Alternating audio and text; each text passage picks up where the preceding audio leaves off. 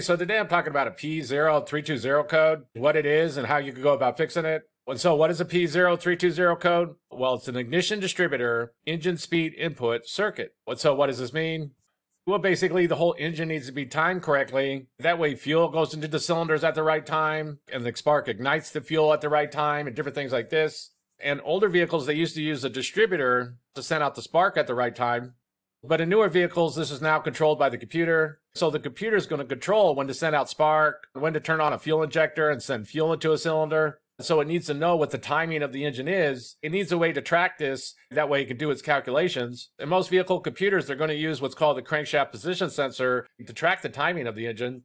This is a sensor that's going to be located down around the crankshaft somewhere, and it's just tracking that crankshaft as it spins. But when you get this P0320 code, the computer's not getting this information from the crankshaft position sensor. There's some kind of issue going on here. And so it's going to be troubleshooted to know why.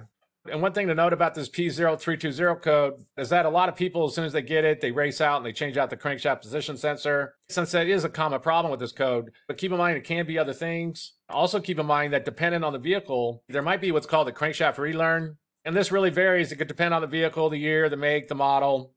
But basically, if that crankshaft or camshaft is swapped out, some vehicles will have what's called a crankshaft or camshaft relearn. Some vehicles you can just start up and drive around. The computer automatically relearn. If you have a good OBD2 scan tool, that might have that option inside of there. Those are usually the more expensive scan tools, but if you have a good scan tool, it might have that option. But basically, keep in mind that other things can cause this problem, and some vehicles sometimes they have what's called a crankshaft relearn. And so, what would be some possible causes of a P0320 code?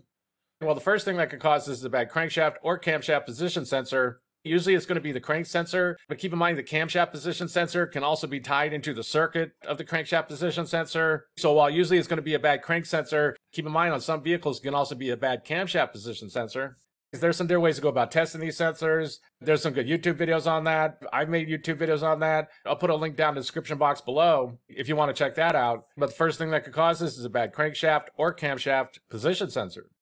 And the next thing that could cause is that there's some kind of issue going on inside the wiring. Basically, if that crankshaft or camshaft position sensor, if they have an open, a short, there's a blown fuse, anything like that, then that's going to cause problems.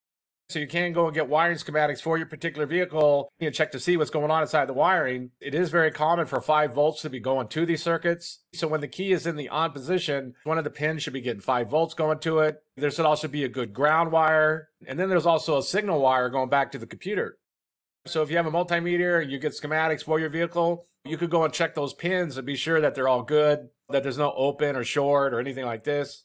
It's also a good idea to go check for any blown fuses. Which fuse it is is really going to vary. Again, it's going to depend on the vehicle, the year, the make, the model. But if the fuse that belongs to the circuit, if it blows, then that's going to cause problems. So be sure to check for any blown fuses because the next thing that could cause this is some kind of wiring problem.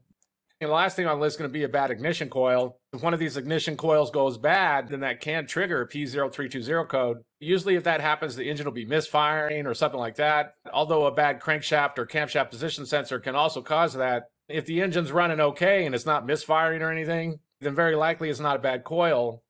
Also, usually when there is a bad coil, you'll be getting another code. So, for example, if you also got like a P0352, ignition coil B, primary secondary circuit malfunction, then in that case, it's a good idea to go check out cylinder number two ignition coil and test the circuit and things like this because the last thing on the list is going to be a bad ignition coil.